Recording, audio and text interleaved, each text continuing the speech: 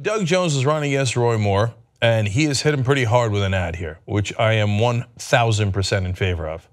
I'm afraid that Roy Moore is going to win this seat. Uh, I'll tell you why in a second. Roy Moore, of course, is a monstrous uh, Republican candidate. Look, even before we found out that he was a child molester, um, we already knew that he doesn't believe in the US Constitution. Uh, over and over again, when given an opportunity to defend the Constitution when he was on the Alabama Supreme Court, said, no, no, my particular religious views um, are more important than the Constitution. I don't care. I'm not going to abide by the US laws.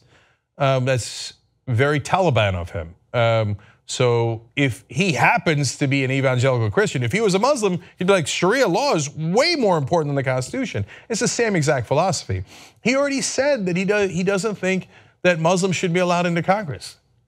The, the guy believes there should be a religious test for office. It says in the Constitution there shall be no religious test for office. Roy, Roy Moore doesn't believe in America, let alone the fact that he's a child molester. So Doug Jones can't hit him hard enough.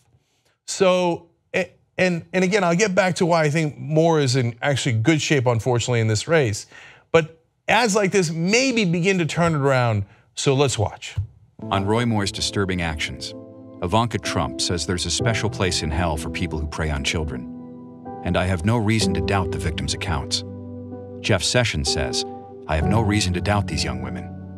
And Richard Shelby says he will absolutely not vote for Roy Moore conservative voices, putting children and women over party, doing what's right.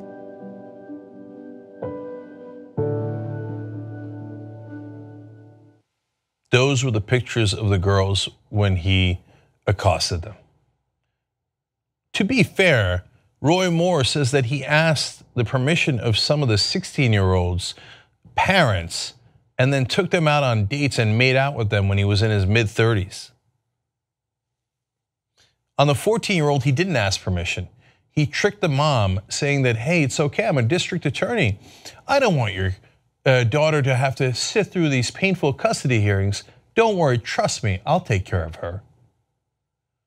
Now the Republicans want to cry about an ad where you show the reality of what he did and what other Republicans are saying about him? Oh, go ahead, cry all day long. Doug Jones should run that ad over and over again and, and more. Did you see the pictures of those girls at the age when he went after them? And so many of his defenders in Alabama and other conservative radio and television, they say, oh, they look like 20 year olds. Some of those girls did not look anywhere near 20. They looked like young little girls. He was banned from a mall because he was the local pervert that would keep hitting on young girls when he was in his 30s you can't hit him hard enough. Now, why might he win? Because elections, unfortunately, are about who, and maybe fortunately, uh, about who's more excited and who cares more uh, uh, enough to show up. Who cares more than the other side, right? So that's a good thing overall. But in the case of Republican voters in Alabama, I get the sense that they are animated to go out there and defend their guy. They don't give a care what he did. Democrats care. You know, you got Democrats accused of wrongdoing, and Democrats are deeply disturbed by it. A lot of the Republican voters think the exact opposite. Not only are they not disturbed, oh, it's the mainstream media that are that's against them, it's the elites that are against them, it's the liberals that are against them. I'm gonna go vote, I'm gonna go vote for the child molester. By the way, I'm not doing that and I'm not putting it on you. We're gonna find out. The election is in December 12th. We're gonna find out how many Alabama Republicans don't care or are happy about a guy who molested those young girls. But my guess is a lot of them, enough to win.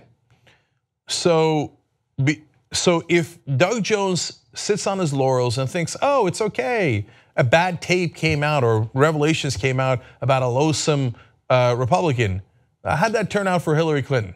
No, from this day to that day, you must attack, attack, attack. So this ad should be the beginning, not the end and they should pound Roy Moore into oblivion, which is where he deserves to be. Otherwise, unfortunately, he will win. So if you are a progressive, a Democrat, a moderate, sane, decent in Alabama, you too should get excited and you need to vote. If you don't, the other guys will win.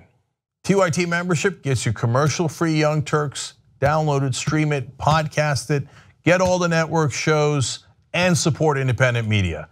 TYTnetwork.com slash join.